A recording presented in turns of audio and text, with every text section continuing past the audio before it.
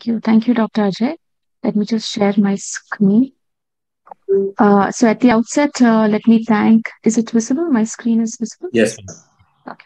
Thank you. At the outlet, uh, at the outset, let me thank uh, Hormone India, Team Hormone India, a group of uh, young enthusiastic endocrinologists uh, for inviting me and all the very best to you for your endeavors in the future as well.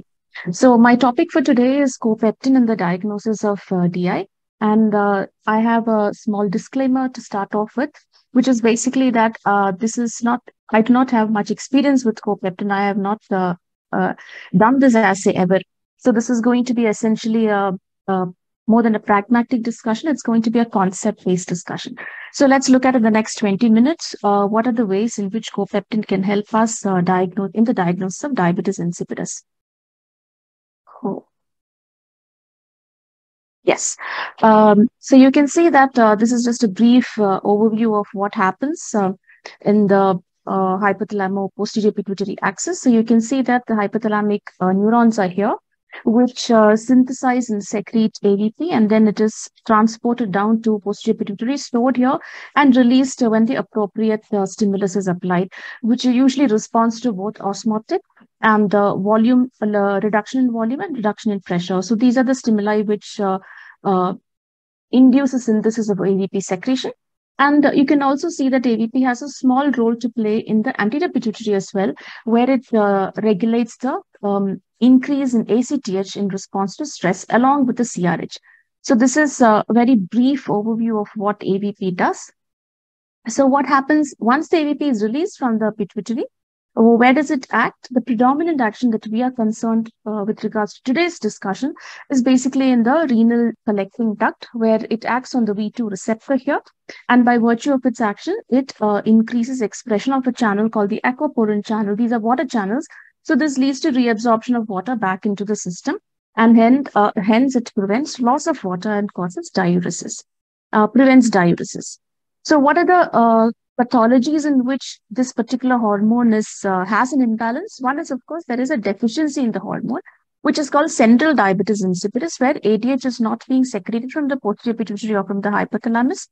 The second one is if there is a problem with the action of the ADH. So if there is resistance to uh, ADH action, the kidneys don't respond to ADH in an appropriate manner, and that will also lead to uh, same clinical features which the patient will present with polyuria and polydipsia. We also have a third differential diagnosis uh, to patients who present with polyuria and polydipsia, and that is what is called as um, primary polydipsia, which can either mean a dipsogenic diabetes insipidus or a psychogenic diabetes insipidus. So this is also very important for us to differentiate from central DI because what happens is in central DI, all you have to do is replace the hormone and everything will be okay. In nephrogenic DI, if you replace the hormone, it's not going to work. And in primary polydipsia, you should not be replacing the hormone. You should be cutting down on the fluid intake because that is where the issue is. So it's important for us to uh, start clearly differentiate between these etiologies before we decide on a therapeutic plan. So if we have to differentiate, common sense tells us that all we have to do is look at the vasopressin levels and then look at uh, give some vasopressin and see the response. So if you have this combination, it should be pretty easy for us to differentiate. So in central DI, you expect the vasopressin to be low, but you expect the patient to respond very well to exogenously given uh, given uh, medication. And however, in nephrogenic DI, the vasopressin basal level itself will be high. And if you give any exogenous desmopressin or vasopressin, it's not going to have any response. Um, on the other hand, in, dip, uh, in dipsogenic DI, you will see that the vasopressin, vasopressin levels are low and the patient also does not respond to exogenous vasopressin adequately. So this should be pretty easy for us to differentiate between the three forms of DI. However, um, clinically uh, or practically, we do not do this simply because we do not have vasopressin assays. Reliable vasopressin assays are not there. And why do we not have reliable vasopressin assays? Because this molecule is a fairly unique molecule. One is it has a very short half-life, which is uh, roughly around 24 minutes. So if your uh, sampling is delayed by 30 minutes, you can have varying values. The second, of course, like many other hormones, it is secreted in a pulsatile manner in response to stimuli. So you may not always be catching it at the right time. Last, uh, another uh, feature is that it's a small peptide. It has only nine amino acids. So this makes it difficult for us to develop epitopes to create good, robust antibody-based assays.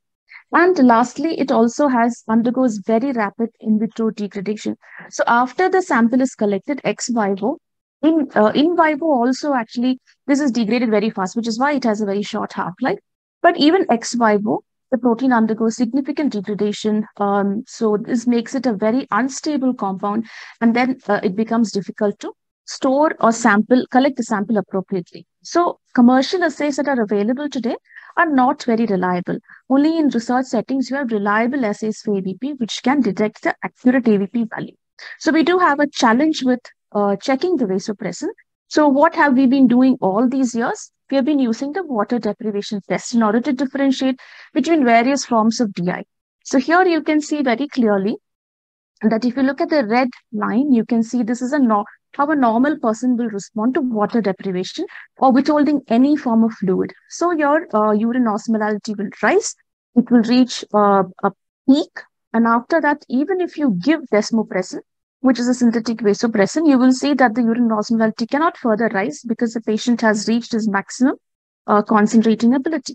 If you look at the last little uh, green line here, that actually refers to complete nephrogenic DI. So you can see that even when you deprive the patient of water, the urine osmolality is not rising. Even when you give desmopressin, it's not rising. So this is very clear. Desmopressin is there, but it's not acting. So this is nephrogenic DI. There's another one here, which is a light blue arrow, which is the patient does not respond to it. So uh, water deprivation at all. The urine osmolality continues to remain low. The minute you administer desmopressin, you can see that there is a nice response. So these three, uh, two extremes, which is complete uh, central DI and complete nephrogenic DI are very easy for us to differentiate. Uh, however, we know that in clinical practice, very often patients fall into the partial or the milder variants. So you can have a partial nephrogenic DI or you can have a mild form of central DI. And this, along with the primary polydipsia, you can see that all of them kind of overlap heavily. So this makes diagnosis very, very difficult for us. And if we do not diagnose it correctly, our therapy is not going to be appropriate. So these are the three variants that we need to fine tune or improve our diagnostic accuracy, which is uh, partial central DI, partial nephrogenic DI, primary polydipsia. So that is how Oh, this is uh, just quickly about how to interpret it. So if there is more than 50% increase, it's clearly central DI.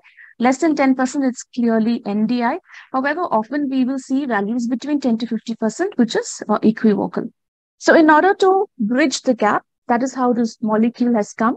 In fact, uh, vasopressin was the first molecule that was attempted, but after many, many years of failed attempts to build a robust uh, vasopressin assay, uh, people started looking at copeptin. So what exactly is copeptin? So as you can see here, copeptin is basically a part of the precursor molecule of vasopressin. So this is a pre-pro vasopressin and copeptin is part of it. This is what is there in the hypothalamus.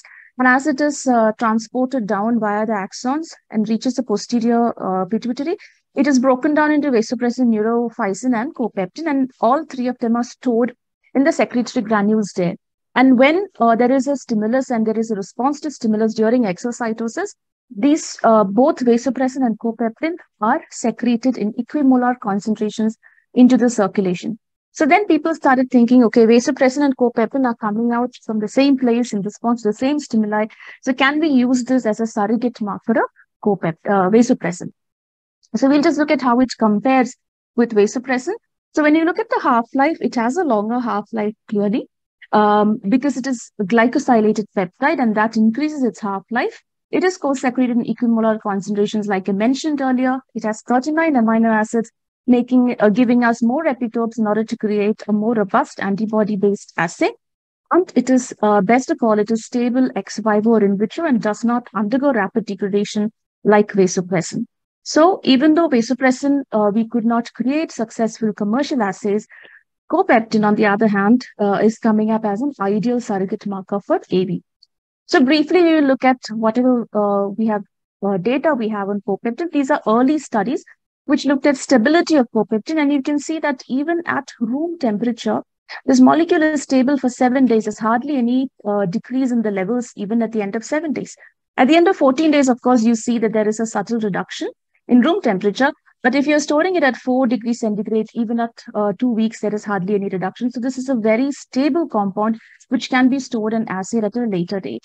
So uh, some basic data, men tend to have slightly higher uh, value than women, but otherwise they both respond to the in the same fashion to uh, hyperosmolar stimuli. And of course, uh, common sense tells you that if there is a water or a liquid meal, there will be a reduction in the AVP. But otherwise, nutrient based, there is no change in AVP secretion. I'm sorry, copeptin secretion. So whether you you can take it irrespective, there's no circadian rhythm either. So you can collect it at any time of the day and irrespective whether you've had a meal or not. However, it's important to remember water or any liquid diet can uh, cause a acute fall in the um, levels of uh, copeptin. This is uh, exercise. So you can, uh, as logically, we would expect uh, copeptin levels and AVP levels to go up after exercise. So that is what you're seeing here. Another condition where AVP and um, copeptin is significantly elevated is patients with sepsis. So we again know that AVP uh, secretion, I mean, secretion of AVP stimulates CRH. So AVP and copeptin are also surrogate markers of stress. They can also be called stress hormones. In fact, uh, correlation uh, with stress related conditions is better for copeptin when compared to cortisol. And cortisol is the common stress hormone that all of us are familiar with. So any stressful condition also tends to increase your copeptin uh, secretion. This uh, graph shows you the uh, correlation value between AVP and copeptin. And you can see whether it's in normal controls or in patients with sepsis, the correlation is pretty good. In fact, the R value is 0.78. Again, here it depends on what assay you have used. So uh, remember we said commercially available AVP assays are not very robust and they're not very good. So when they uh, tested AVP against copeptin with using commercially available assays, the correlation coefficient was only about 0.3.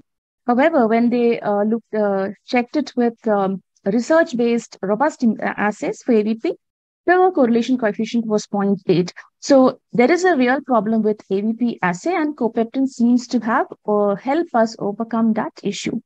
So we will look at a very simplified algorithm.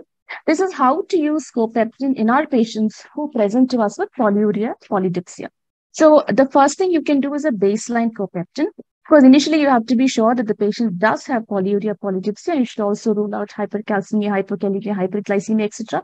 So once you have done that, you can go ahead and do a random copeptin level, even without any fluid uh, deprivation. And if it is elevated, we don't really have to concentrate on the numbers if necessary, if required now, because you know if you're doing the test, you can always refer to it. So if it is clearly elevated, which is about 21.4, then there is no doubt this patient has nephrogenic DI. However, if it is suppressed and if you have not done any fluid deprivation, we don't have a value for low copeptin. But if the patient has undergone some fluid deprivation, let's say for about five hours or eight hours, and your basal copeptin is less than 2.6, you can also say with some amount of certainty that this is uh, central DI. Now, often when the values fall less than 21 or between these two, what is the next step that we should do? So there we have to do something called stimulated copeptin. How do you stimulate copeptin? What is the greatest stimulus to release AVP from the posterior pituitary? You have to increase the serum osmolality. And what we do to measure serum osmolality is a, a reliable marker is a plasma sodium level. So you can infuse hypertonic saline, reach a plasma sodium of 147 at least, and then check your uh, copeptin level. This is what is called the stimulated copeptin level. So again, we have cutoffs of 4.9. So if it is more than 4.9, then you're dealing with primary polydipsia. Whereas if it's less than 4.9, you're dealing with central DI. So this is a very useful algorithm if we have access to copeptin assays. So again, this is um, utility of copeptin in various clinical scenarios. So in polyuria polydipsia, we can start off, like I mentioned earlier, with random copeptin measurement. Your uh, interpretation can be stopped if, uh, or your testing can be stopped if your copeptin levels are very high and you're sure that this is nephrogenic DI. The diagnostic accuracy is excellent. You don't have to do any further testing. Anything less than uh, 21.4, you have to uh, put the patient across to a stimulated copeptin. There are two ways of doing stimulated copeptin. One is the hypertonic saline infusion test that I mentioned, And more recently, there's an arginine infusion test that has also has been introduced for stimulation of copeptin. Again, arginine is something that's not available in India, so it's not practically very useful for us.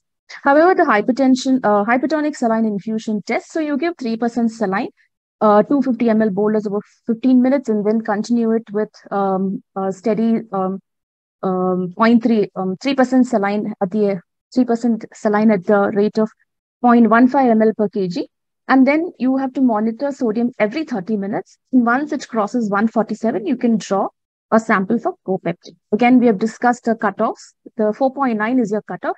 Anything higher than that is likely to be primary polydipsia.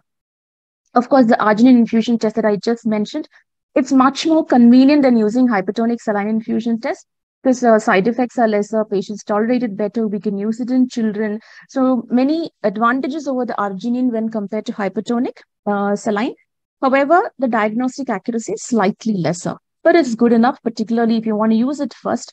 And then if you need a confirmation, you can go for the hypertonic saline. Um, again, the cutoffs here are slightly different. Another place where you can utilize this copeptin is patients who are undergoing transsphenoidal surgery and you want to look at their risk of developing DI. So uh, the first test actually looked at insulin-induced hypoglycemia and stimulated copeptin along with that, and that at a 100% prediction to tell which patient will develop permanent DI following the transsphenoidal surgery.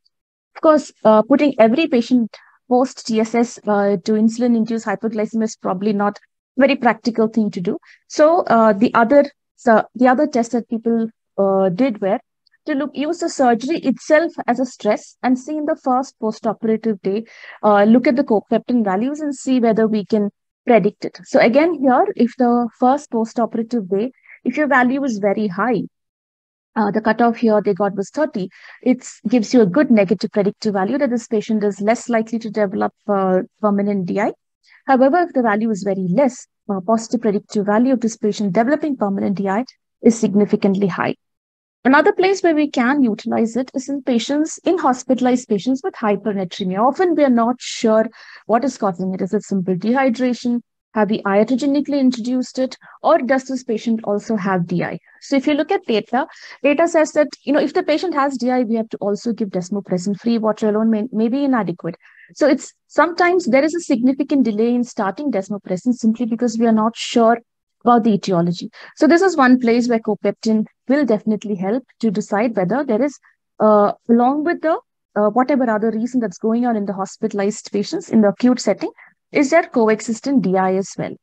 Even in hyponatremia, it's useful, but I'm not going to cover that. Just like we spoke about assay in AVP, even with copeptin, there are various assays. And so we should be slightly familiar with what assay we are using and is that really validated or not. So there are different immunoassays which are present and available today. The original one was an immunoluminometric assay, which is called LIA. And then there's another one, which is slightly better version, which is uh, um, an automated immunofluorescence successor of the same assay, which is on the Kryptor platform. There are many ELISA-based uh, immunoassays that have been developed to uh, measure copeptin. However, these are not truly validated in most of the studies that have been done to date. So it's important for us to dig in and find out if we are ordering a commercial copeptin assay. It's important for us to figure out what the methodology is. So here is a study uh, which looked at these three assays and tried to see how they performed. This is a patient group that we are interested in, which is polyuria polydipsia. And you can see that both Kryptor and ELIA are showing you much lower values of copeptin uh, compared to the ELISA, which is giving you a much, much higher value. So there is a huge incongruence between the values obtained between these two platforms. So this is something that all of us should be alerted to. So the same patients uh, were divided into central DI and primary polydipsia based on the stimulated and basal copeptin value. And you can see that based on the basal copeptin value, you can see, you know, it is 1.6 and 0.8, and here it is 18.2 and the stimulated copeptin value for central DI when it remained 1.7, 1.4, here it was 17.2. So you're going to miss a lot of your central DI patients and you're going to misclassify them as primary polydipsia if you're not sure about uh, which assay you're using. So it's important for us to look into it. The primary polydipsia also had elevated. So what is uh, what seems to be happening here is that there is some false false elevation of AVP in these ELISA assays. So if you look at the diagnostic accuracy, you can see that ELISA had only 55% diagnostic accuracy compared to 98% diagnostic accuracy for the uh, Kryptor-based platform. So it's very, very important for us to be aware of this and to be cognizant of what test we are using uh, in our clinical practice. So that will be the end of my talk. So in conclusion, Copeptin is emerging as a diagnostic test of uh, choice in DI. And recent reports have suggested that it can be utilized in many, many other clinical scenarios. Like I showed you sepsis, there are many other clinical scenarios also. Uh, it is likely to replace the cumbersome water deprivation test even in our country because eventually we will get good, reliable copeptin assays here. It's much more easier to do. It has better diagnostic accuracy. So it's a matter of time before we all migrate into it. But the caution that we need to keep in mind is that, uh, you know, always try to look into the details because commercial assays may be using ELISA platforms and the diagnostic cutoffs that you and I read in the books will not be applicable for those. So thank you very much.